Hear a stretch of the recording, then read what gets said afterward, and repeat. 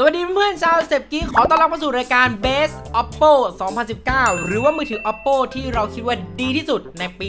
2019 มาดูกันดีกว่าว่าจะมีรุ่นไหนในมือคุณบ้าง ถ้าทุกคนพร้อมกันแล้ว intro มา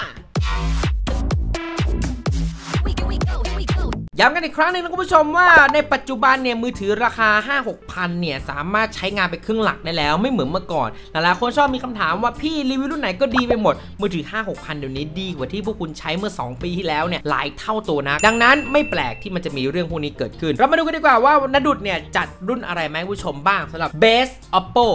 2019 รุ่นแรกคุณผู้ชมเรียกว่ารุ่นมหาชนแน่ๆ แล้วก็ถ้าไม่พูดถึงรุ่นนี้ที่รีวิวมาก็คงจะเป็นเรื่องโกหกนี่คือ Oppo A5 2020หรือว่ามือถือที่อภิมหาคุ้มที่สุด ตั้งแต่เคยเกิดมาเจอในมือถือ Oppo เลยทีเดียว เราจะพยายามไม่เปรียบเทียบกับแบรนด์อื่นเท่าไหร่นะคุณผู้ชมแต่เราคงปฏิเสธไม่ได้ว่า ในราคาที่คุณจ่าย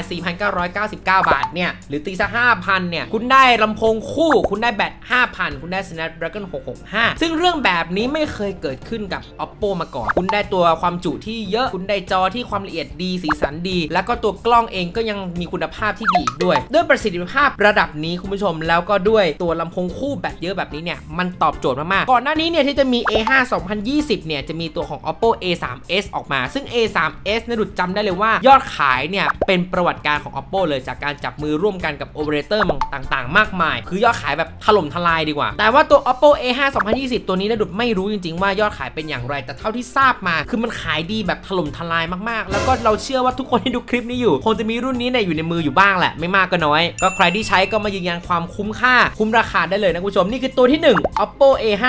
2020 ตั้งหน้าตั้งตาว่าจะเป็นแบรนด์พรีเมียมให้ได้คุณผู้ชม Oppo Reno เนี่ย ก็เป็นอีกหนึ่งรุ่นที่ถูกจับเข้ามาอยู่ในกลุ่มตลาดสมาร์ทโฟนที่ดูหรูหรามากขึ้นกว่าเดิม โดยการครึ่งปีหลังเนี่ยประกาศไม่มี F Series อีกต่อไป ทำให้เกิด Reno Series ขึ้นมาคุณผู้ชม ตัวที่ 2 ที่เราจะแนะนำให้คุณผู้ชมได้รู้จักกันคือรุ่นที่มีสเปคระดับเรือธงแต่อยู่ในแบรนด์ Oppo นั่นคือ Oppo Reno 10 Time Zoom Oppo Reno 10 Time Zoom เนี่ยจริง ๆ แล้วจุดขายก็คือเรื่องของการซูม 60 เท่า แต่ในปัจจุบันเนี่ยนดุดบอกเลยว่านดุดเองก็ไม่เคยได้ใช้มันเลย คือมันก็มันก็ถ่ายรูปทั่วไปซูมนิดซูมหน่อยก็ไม่ค่อยได้ซูมอะซูมโชว์พลังไปงั้นแหละคุณผู้ชม อันนี้ก็พูดตามความจริงนะ แต่ว่าตัวสเปคอื่นๆน่าสนใจมากๆ CPU ก็ระดับท็อป Snapdragon 855 แบตเตอรี่ 4,065มิลลิแอมแล้วก็ตัวรอมแรมเนี่ยก็อยู่ที่ 128กิกแรม6แล้วก็ล่าสุดมี 256กิกแรม12โผล่มาด้วย ราคาศูนย์เนี่ย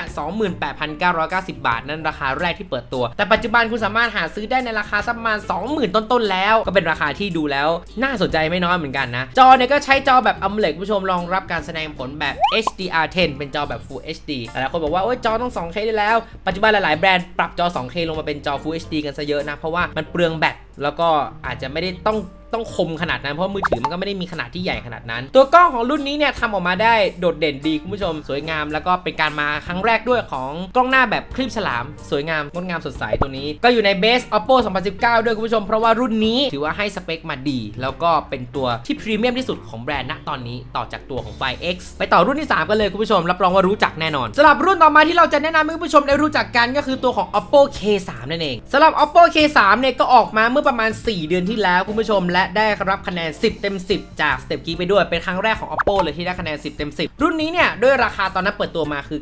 9,990 บาท อันนั้นคือราคาแรกเลย ในปัจจุบันเนี่ยเราสามารถหาซื้อ Oppo K3 ได้ในราคาประมาณ 7,990 บาท หรือถ้าคุณหาได้ถูกกว่านั้นก็ถือว่าก็ถือว่าเจ๋ง แต่ประมาณนี้คุณผู้ชมอันนี้ขายโดย Lazada ประเทศไทยเลยนะรับราคา 7,990 บาท สเปคเนี่ยด้วยเป็นตัว 10,000 อีกแล้วที่ต่ำกว่า 10,000 บาท แล้วยังเป็นกลุ่มจอของ OLED ซึ่งตลาดส่วนใหญ่จะเป็นตัวของ Samsung มากกว่าที่เป็นจอ OLED นะตัวนี้ให้ Snapdragon 710 มาคุณผู้ชม แล้วก็ให้กล้องหลังเนี่ยความละเอียด 16 ล้านพิกเซล แบตเตอรี่เนี่ยให้มาที่ 3,765 มิลลิแอมแล้วก็รอมเนี่ยให้มาถึง 128 กิกแรมเนี่ยอยู่ที่ 8 กิกอีกทั้งยังรองรับ VOOC Charge และยังมีโหมดกลางคืนเอาไว้ถ่ายรูปอีกด้วย สาเหตุที่เราเลือกมาเพราะว่า1ละการลงตัวของรุ่นนี้เนี่ย ในตอนนั้นราคา 10,000 บาทเนี่ย น้อยรุ่นมาก ๆ ที่จะใส่จอกลุ่ม OLED มา ตัวนี้ได้ CPU 710 มา ซึ่งก็ปรับความแรงได้เยอะ ตัวกล้องเองก็สวยงามมาก โดยเฉพาะกล้องหน้าเนี่ย Oppo ไม่ค่อยแพ้ใครหรอก สวยงามมากๆ แต่ว่าความละเอียดอาจจะไม่ได้เยอะมากเท่าไหร่ ตอนนั้นมีการจับไปเปรียบเทียบกับ F11 Pro เยอะมากๆ แล้วเราก็พูดไปในรีวิวว่า ถ้าคุณเอา F11 Pro กับรุ่น Oppo K3 มาวางไว้หน้านาดุดเนี่ยนาดุดหยิบ K3 แบบไม่คิดเลย เพราะว่าตัวจอที่ดีกว่า แล้วก็ตัวกล้องที่อะความละเอียดมันจะต่ำกว่านะ แต่ถามว่าขึ้น Facebook คุณจะเอาละเอียดเท่าไหร่ อันนี้ก็อยู่ที่คุณผู้ชมจะมอง แต่ถ้าให้เลือกกันแล้วเนี่ย ยังไงเราก็คงชอบตัว Oppo K3 มากกว่า และแนะนำให้มันมาอยู่ใน Best of Oppo 2019 ตัวที่ 3 คุณผู้ชม Oppo K3 ใครซื้อมาแล้วบ้างคอมเมนต์บอกด้วย หลังจากที่ครึ่งปีหลังคุผู้ชมการจากไปของซีรีส์ F เนี่ยก็ถูกทดแทนด้วย Reno และต่อด้วยรหัสตัว F คุณผู้ชม นี่คือสมาร์ทโฟนตัวที่ 4 ของ Oppo ที่ติดอยู่ใน Base Oppo 2019 หรือว่าโทรศัพท์ Oppo ที่ดีที่สุดประจำปี 2019 ตัวที่ 4 Oppo Reno 2F ทำไมถึงมาอยู่ในจุดนี้ได้คุณผู้ชมตัว CPU เลือกใช้ MediaTek Helio P70 ซึ่งตัวนี้เนี่ยจะเป็นตัวเดียวเลยกับ F10 Pro แต่ที่เราชอบคือตัวกล้องดีอย่างก้าวกระโดดมาก ถ้าเทียบกันกับ F10 Pro เราก็จะพูดอีกครั้งหนึงว่าเราจะหยิบ Reno 2F แบบไม่คิดเช่นกัน ราคาเปิดตัวครั้งแรกเนี่ย11,990 บาท แต่ว่าตอนนี้คุณอาจจะหาได้ในราคาประมาณหมื่นกว่าหมื่นนิดๆเท่านั้นเองในศูนย์น่าจะ1,900ก็น่าจะทำได้ในช่วงที่อาจจะจัดโปรโมชั่นต่างๆ ก็ลองไปคุยกับร้านค้าดูรอม128กิก RAM 8ให้แบตเตอรี่มา4,000มิลลิแอมกล้องเนี่ยดีกว่าเยอะมากๆ และเลือกใช้กลุ่มจอแบบ AMOLED เรียบร้อยแล้ว ซึ่งตอน S10 Pro เนี่ยยังใช้จอแบบ TFT LCD อยู่เลยสีสันมันไม่ค่อยดีเลย แถมตัวเครื่องเนี่ยมันยังมีความหนักด้วยนะ S10 Pro เนี่ย พอมาเป็น Reno 2F ปุ๊บเนี่ยดีไซน์มันทันสมัยมากขึ้นด้วยราคาที่คุณจ่ายแค่ประมาณหมื่นนิดๆ คุณได้ดีไซน์แบบใกล้เคียงมากๆเลยคุณผู้ชมกับ Reno 10 Time Zoom ซึ่งเป็นตัวระดับเกือบ 30,000 บาทเนี่ยเห็นได้ชัดเลยว่าเอาดีไซน์ระดับพรีเมียมมาอยู่ตรงจุดนี้ด้วย เราก็เลยได้มือถือที่ดูพรีเมียมขึ้น สวยงามขึ้น แล้วก็ดูมินิมอลมากขึ้น และประสิทธิภาพดีขึ้นด้วยเช่นกันเดี๋ยวเรามาสรุปผลงานในปีนี้ของ Oppo นิดนึงก็แล้วกันคุณผู้ชมมามาพร้อมกันสำหรับกลุ่มของ Oppo ปีนี้เนี่ยจะเห็นได้ชัดว่าตลาดที่อยู่ด้านบนหรือตลาดที่ราคาสูงเนี่ยเขาพยายามจะปรับขึ้นไประดับพรีเมียม แล้วเราก็คงจะได้เห็นแล้วว่าตลอดปีนี้เนี่ย Oppo ได้มีการจับมือร่วมกันกับบริษัทระดับโลกมากมาย เช่น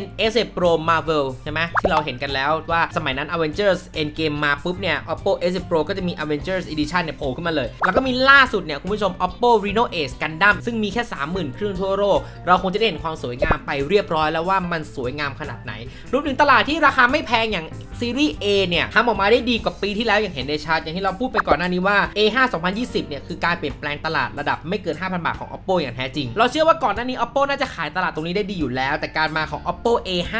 2020 เนี่ยไม่ทำให้หลายๆ คนที่รอเนี่ยผิดหวังเลย คุณพ่อคุณแม่คุณพี่คุณน้าคุณอาซื้อไปใช้เนี่ยเราว่าน่าจะชอบกัน ส่วนการมาของ Reno 2F หรือว่าการเริ่มต้นใหม่ของยุคซีรีส์ F โดยการใส่คำว่า Reno แล้วเติมตัว F เข้าไปข้างหลังเนี่ย ก็ไม่น่าผิดหวังแต่อย่างใด การใส่จอที่ดีขึ้นมาเป็นทางเลือกที่ดีมากๆ ปกติ Oppo เนี่ยจะพยายามกักจอ ทุกคนจะพอทราบดี แต่พอเป็นกลุ่มของ Reno 2F ปุ๊บเนี่ย จอเปลี่ยนมาใช้ OLED ความละเอียดก็ดีแบบนี้เนี่ยมันดูน่าสนใจมากๆ กล้องสวยงามแบตเตอรี่ทนทานและที่สำคัญปัจจัยทำให้ Oppo ประสบความสำเร็จและทุกคนออกจากวงการ Oppo ยากคงไม่พ้นเรื่องของชาร์จเร็วเป็นแน่แท้ชาร์จเร็วของ Oppo อย่าง Oppo Vook เนี่ยหรือว่า Vook Charge เนี่ยหรือ Super Vook เองก็ตามแต่เนี่ยระดุดเองก็แทบจะหลุดจากวงการนี้ไปไม่ได้เหมือนกัน เพราะว่ามันชาร์จเร็วจริง ๆ และมันมีความรู้สึกปลอดภัยมากๆและนี่ก็คือเหตุผลที่ทำให้ Oppo ปีนี้เป็นแบรนด์ที่ประสบความสำเร็จมากกว่าปีที่แล้ว แทบจะก้าวกระโดดเลยทีเดียวนะ อันดับ 1 อันดับ 2 ระวังไว้ให้ดีๆนะ Oppo ใกล้เข้ามาเรื่อยๆ แล้ว ใครที่เป็นแฟน Oppo แล้วคุณล่ะ ซื้อรุ่นไหนมาบ้างในปีนี้ในปี 2019 คอมเมนต์บอกในดูข้างล่างได้เลย ก็แล้วกันว่าไปโดนตัวไหนมาบ้างในปีนี้ เจอกันใหม่เทปหน้า สวัสดีจ้า